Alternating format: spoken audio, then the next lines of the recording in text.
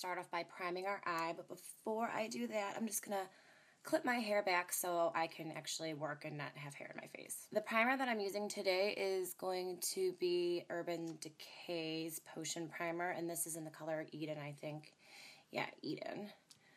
Um, as always, a full list of products will be in the description box below.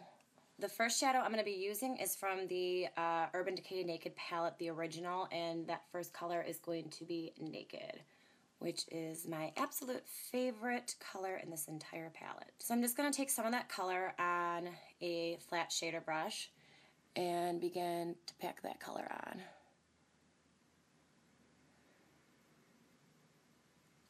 Just mainly focusing that color on my lid. The next color I am going to be using is also from the Naked palette, and that is this color right here. This is Half Baked. Um, it is a gold color. And I chose this one because it doesn't come out super gold depending on um, how you use it. If you use it with a light hand, it's not going to come out super gold. And we're just going to take that gold color and put it right over top of that color we just put on uh, the color Naked just over top of it. Next, I'm just going to be taking a crease brush. This, I think, is from Target. Um, I'm not sure when I got this such a long time ago. It was very, very inexpensive, if I do recall correctly. And for some reason, it's been my favorite uh, brush to use in my crease. For my crease color, I am going to be taking the shadow right here. This is Soba from MAC. And I chose this color because it's pretty much in the same uh, color family as the first two colors we used. Um, it does have some shimmer to it, which is not normally what I like to use in my crease, but for this particular look, we're just going to go with it. So I'm just taking my crease brush and taking that color I just picked up, Soba, and working it back and forth in windshield wiper motions in my crease. I don't want my crease to be super dark, I just want enough that's going to define my eyes. Taking just a fluffy blending brush, um, this is a 224 by MAC. Um, with no product on it, we are just going to go ahead and dry brush what we just did. It's just going to uh, smooth out any harsh lines that um, I may have created while defining my crease. Next, uh, as far as the last step of shadows go, I'm going to take the Wet n Wild Icon Color Icon palette, and this is in the color Vanity. And I'm going to take my same fluffy blending brush that I've been using and pick up this matte uh, creamish kind of white color. Um, it's one of the first ones in the palette and use that as my highlight and then just kind of blend that downward um, into my crease. Make sure that there's a smooth transition. And then I'm just going to keep the same brush and pick up a little bit more of that color and pop it into my inner corner just to um, brighten up a little bit on the inner corner since we have so much uh, going on on the outer corner. And again, you want to make sure everything is very well blended. For the double lining, I first started off with this very, very intense blue. And for that, I used the Milani Infinite Liquid Liner. And that is what that looks like. And I believe this is in the color, yes, 01 Infinite.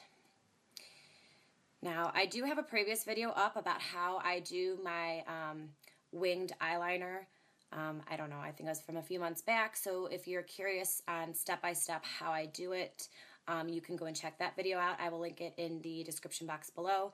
And that'll give you a much more in-depth detail on how I do my winged eyeliner.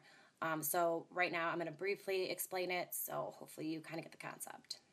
Now this liner is a little bit thick in consistency and it is a little bit hard to work with. It is a brush applicator instead of a felt tip applicator, which is something that I normally don't like. But um, I haven't found anything quite like this that does have a felt tip applicator. I think Sephora makes something similar to it, but I really, really like this color a lot, so this is what we're going to be using. To start off, I am going to very gently um, create a line from the outer corner of my eye and extend it slightly upward. I'm not going to make it as drawn out as this black because I'm going to go over, um, over and a little bit underneath with the black.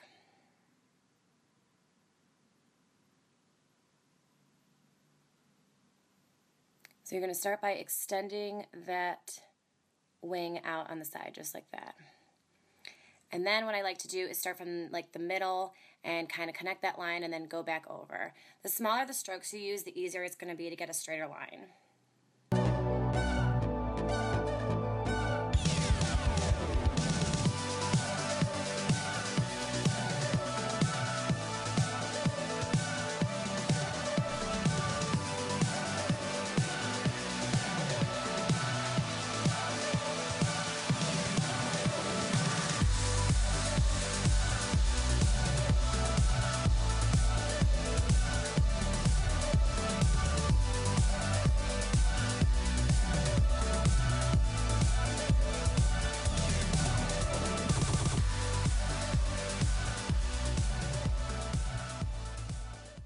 The line that you're going to want to make with your blue liner is going to be a thicker line because we're going to place our black liner directly underneath it. So you're going to want to make it twice as thick as you want to make your black line because the black will end up taking half of your blue line, if that made any sense at all. So for my black liner, I'm going to use a Blackest Black felt tip applicator liner. And for that, I'm going to be using the Maybelline Line Stiletto. That is what it looks like. Um, I don't know. I've used a bunch of felt tip applicators as far as liquid liner goes, and I just really prefer this one. Um, I don't know if it's because of the um, applicator itself, the handle. I find it easier to grip. I find it really um, one of the best liners in terms of if you're not really a pro yet. Um, I think it's one of the more easier ones to use. So with the black liner, we're going to follow the same concept.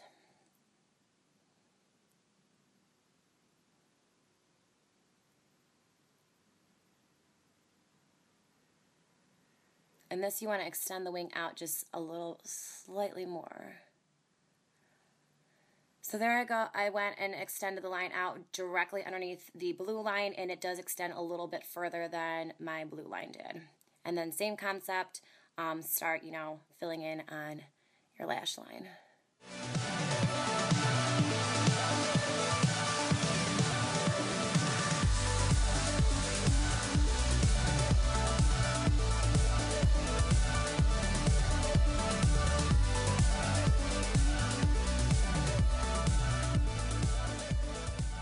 Find it best that when you're doing wing eyeliner to just kind of um, look at your face from different angles because that way you get the true sense of how your eye's shaped and um, how to make the line. And I just find it a lot easier if you um, turn your head as you're doing it. To get such a straight point with the black liner, you want to drag it across and then kind of like flick it up at the end. So drag and flick up the end, and you'll will get um, a straight line and you'll get a little tail in point at the end of your liner. For my waterline, I'm just going to keep it relatively simple and I'm going to be using the Urban Decay 24-7 Glide On Pencil. That is what it looks like and this is in the color Perversion. So just apply your favorite mascara and your eyes are done. For this, I'm going to be using the Revlon Photo Ready 3D Volume. So that is what the eyes look like. Um, I think it's a very cool, kind of unique, different play on how to wear winged eyeliner. Um, you don't have to wing it out, but um, I am a big fan of winged eyeliner, so that is what I choose to do. Um, if you're interested on what I used on my cheeks and what I'm going to do for my lips, then keep watching. So for my cheeks, I'm going to be using this color by NARS. It is the color Luster. It is a um, more of a peachy kind of on the orangier side blush, which I really like because blue and orange are on the opposite side of the color spectrum. If you don't know what I'm talking about, then look it up. But um, I think that they actually are really complementary when worn correctly together. So I'm just going to be picking up some of that blush on just a stippling brush and kind of focusing that on my cheeks. Now this is a shimmery kind of blush, so I generally skip um, a highlight when using it. And I prefer to focus my blush more up than just on the apples of my cheeks. For my lips, I'm going to be using something more on like the neutral side. This is Revlon, and it's a matte, and this is in the color Pink Pout. Um, so I'm just going to go ahead and apply that to my lips. It's a pretty kind of like pinky nude, um, definitely more on the cooler side. And to even tone that down a little bit more and add a little bit of gloss, I'm going to be using a MAC lip gloss, and this is in the color C-Thru.